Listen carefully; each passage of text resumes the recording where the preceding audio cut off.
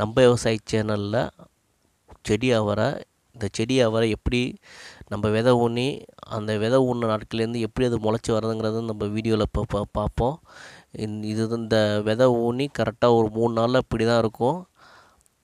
அந்த மூணாம் நாட்கள்லேருந்து ரெண்டு இலைங்கிறது அந்த விதையிலேருந்து வந்த இலை அப்புறமேட்டுக்கு ஒவ்வொரு இலையும் விட்டு இப்போ ரெண்டு இலை புதுசாக விட்ருக்கு அது மாதிரி விட்டு இது செடியாக வளர்ந்து அதுக்கப்புறம் தான் பூத்து காய்க்கும். கரெக்டாக ஒரு எட்டாம் நாளில் வளர்ந்த செடி தான் இந்த செடி. இந்த அவரைக்காய் செடி எப்படி வெள்ளாமல் பண்ணுறது எப்படி அது இப்போ சாகுபடின்றதுங்கிறது வீடியோவில் தெளிவாக பார்ப்போம். இப்போ செடி அவரை நம்ம விதை பயன்படுத்தியிருக்கிறது கோ ஆறு கோ ஏழு. நம்ம வயமறை எந்தெந்த வய எப்படி இருக்கணும்னு பார்த்தீங்கன்னா வடிகால் வசதி உள்ள வயலாக இருக்கணும் செம்மண்ணாக இருக்கணும் இல்லை படுவ மண்ணாக இருக்கணும்.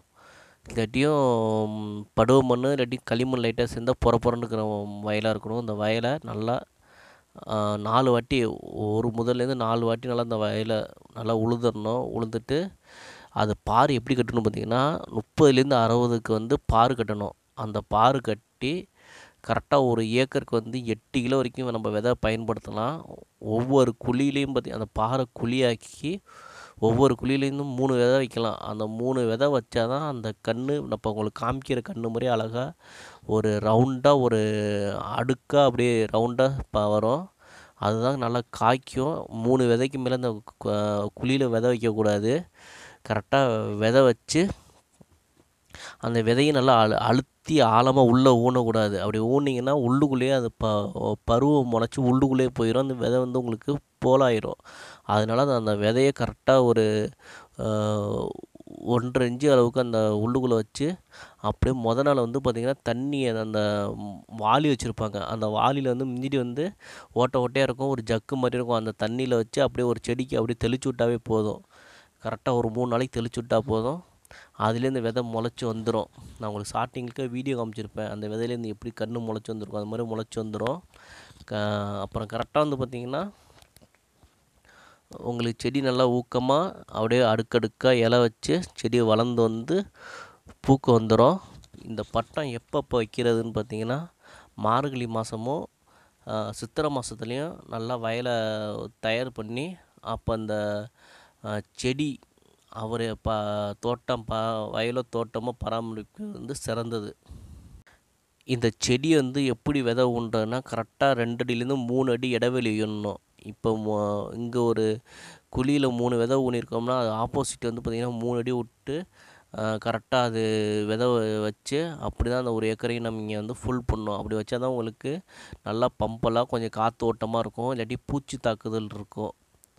அதுக்காக தான் கரெக்டாக மூணு இடைவெளி விட்டு வைக்க சொல்கிறாங்க அப்புறம் எங்கள் தண்ணி எப்படி விடணும்னு பார்த்தீங்கன்னா விதை வச்சு கொஞ்சம் தண்ணி விட்றீங்கன்னா அதுலேருந்து மூணு நாள் ஒரு மூணு நாள் விட்டு மூணு நாள் தான் தண்ணி விடணும். அது தண்ணி எப்படி விடணும்னா அந்த செடி அந்த குழியில் வச்சு குழியில் இப்போ நாங்கள் செடி வச்சுருக்கோம். அது நல்லா காய்ச்சிருச்சு. அப்படியே அடியில் வந்து பார்த்திங்கன்னா நல்லா அந்த மண்ணை செதுக்கிட்டு அந்த களையெல்லாம் எடுத்துட்டு அந்த வேரை வந்து அணைச்சிடணும். அப்படி அணைச்சா தான் அந்த வேர்பூச்சி உழுவாது. அந்த வேர் அணைச்சிட்டு அந்த வேர் மேலே தண்ணி விடாமல் அந்த குழி அடியில் அப்படியே தண்ணி விட்டிங்கன்னா அப்படியே அது இழுக்கிற அளவுக்கு தான் தண்ணி விடணும். தண்ணி தேங்க விடக்கூடாது. அப்படி தேங்க விட்டாவும் ரொம்ப தண்ணி தேங்க விட்டால் அதுக்கு பாதிப்பு வரும். இந்த செடிக்கெல்லாம் பார்த்திங்கன்னா உரம் வந்து நாங்கள் மண்புழு உரம் அப்புறம் கோழிப்பீயர் உரம் தான் ரெண்டு உரம் கொடுக்குறோம். இந்த ரெண்டு உரம் கொடுத்தா தான் அந்த செடி நல்லா பச்சை பசின்னு அடர்த்தியாக ஊக்கமாக வளரும். அப்போ தான் நல்லா நம்மளுக்கு நம்ம வந்து ஆயில் நீடித்து நல்லா காய் கொடுக்கும். அதனால தான் நாங்கள் ரெண்டு உரத்தையும் தான் பயன்படுத்திகிட்ருக்கோம் இப்போ வந்து கரெக்டாக அறுபத்தஞ்சி நாளில் பூத்த செடி கரெக்டாக இருபத்தஞ்சாவது நாளில் அடுக்கடுக்க நம்மளுக்கு காய் கொடுக்கும். நாங்கள் இந்த வயலில் வச்சுருக்க இதே வந்து பார்த்திங்கன்னா ரெண்டு இதாக தான் முறையாக தான் வச்சுருக்கோம். கரெக்டாக மொதல் நாள் பாதி வந்து விதை வச்சிட்டோம். மறுநாள் பாதி விதை வச்சிட்டோம். அப்படி வைக்கிறதுனால தான் கரெக்டாக இந்த செடி ஓஞ்சு அப்புறம் அந்த செடி காய்க்கும். அப்படி காய்க்கிறது தான் நம்மளுக்கு தட்டுப்பாடு இல்லாமல் கரெக்டாக குறிப்பிட்ட நாளுக்கு நம்ம வந்து காய்க்கலாம். காய் பறிக்கலாம். அந்த செடியில் வந்து எப்படி பூச்சி தாக்குதலேருந்து க கட்டுப்படுத்துறதுன்னு பார்த்திங்கன்னா நாங்கள் அமிர்த கரிசல் நாங்களே தயார் பண்ணி நாங்களே தெளிச்சுக்கிறோம். இது எப்படி இதை தெளிக்கணும் பார்த்திங்கன்னா சம பங்கு வந்து தண்ணீர் எடுத்துக்கணும். அப்புறம் பச்சை மிளகாய் எடுத்துக்கிட்டு இஞ்சி பூண்டு இதை நல்லா இடிச்சுக்கிட்டு இந்த தண்ணியில் கலந்து நாங்களே அப்படியே செடியில் தெளிச்சிருவோம். அப்படி தெரியல தெளிக்கிறது தான் அந்த செடியில் இருக்கிற அந்த ஓட்டை ஓட்டையாக தெரியல அந்த பூச்சி தாக்குதல் குறையும். அப்புறம் ஏதாச்சும் புழுக்கள் தாக்கல் தாக்குதல் இருந்துச்சுன்னா அதுக்கு கற்பூர கரைசலும் நாங்களே ரெடி பண்ணிக்கிறோம். அந்த கற்பூர கரைசலுங்கிறது வந்து வேப்ப வேப்ப எண்ணெய் கரைசல் தான்.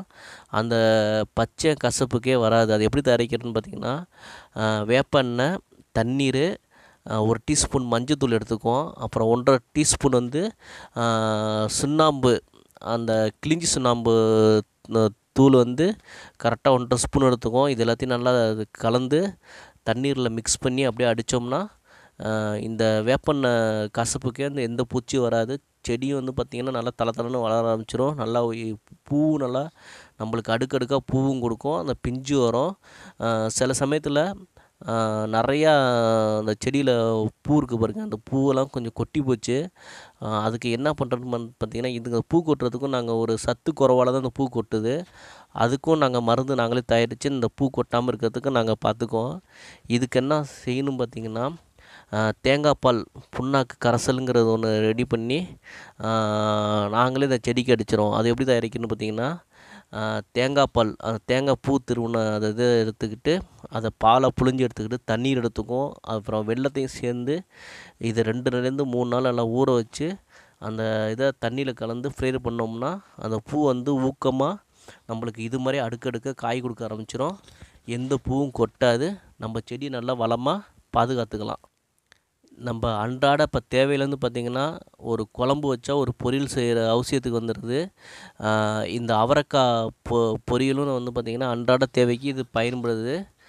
நல்லா இது மார்க்கெட்டு நல்லா போயிட்டுருக்கு. இப்போ ஒரு கிலோ வந்து பார்த்திங்கன்னா நூற்றி இருபது ரூபா வரைக்கும் இந்த இப்போ போயிட்டுருக்கு. அவரைக்காய் இந்த அவரைக்காய் வந்து கரெக்டாக ஒரு ஏக்கரில் வந்து பார்த்திங்கன்னா நம்மளுக்கு நூற்றி அறுபது நாட்கள்லேருந்து இது பயிராகும். இது க விதை வச்சதுலேருந்து அது காய் காய்க்கிற வரைக்கும் நான் நாட்கள் வந்து பார்த்திங்கன்னா நூற்றி இருபது நாள் வரும். அந்த நூற்றி இருபது நாளுக்கு நம்மளுக்கு எழுது மகசூல் ஒரு ஏக்கர் கிடைக்குன்னு பார்த்திங்கன்னா எட்டுலேருந்து பத்து டன் வந்து நம்மளுக்கு மகசூல் இந்த வயலில் கிடைக்கும். அன்றாடம் நம்ம வாழ்க்கைக்கு பயன்படுறது இல்லாமல் இது நிறைய மருத்துவ குணங்கள் உள்ளடக்கியது. இந்த அவரைக்காய் காய் இந்த அவரைக்காய் காய் வந்து ஒரு வாரத்துக்கு ஒரு முறை சேர்க்குறது நம்மளுக்கு உடம்புக்கு நல்லது. இது வந்து கால்சியம் பொட்டாசியங்கிற சத்து வந்து இந்த அவரைக்காயில் இருக்குது இதில் வந்து என்ன மருத்துவம் நம்மளுக்குன்னு பார்த்திங்கன்னா அதிக பயனையும் தருது மருத்துவ பயன்களையும் தருது. இந்த மருத்துவம் என்னென்னு பார்த்திங்கன்னா நம்ம உடம்புல இருக்கிற இரத்த அழுத்தம் இருதய நோய் இது ஏதாச்சும் இருந்துச்சுன்னா இது கட்டுப்படுத்துது இந்த அவரைக்காய். அப்புறம் அடுத்தது என்ன நோய்க்கு குணப்படுத்துது பார்த்திங்கன்னா சர்க்கரை நோய் இருந்துச்சுன்னு வச்சுங்களேன் அவங்களுக்கு நாளடைவில் வந்து அந்த சர்க்கரை நோய் முற்றி மயக்கம் வரும் தலை சுத்தம் கை கால் வந்து சோர்ந்து போகும். அப்படி இருந்துச்சுன்னா இதையும் கட்டுப்படுத்துது.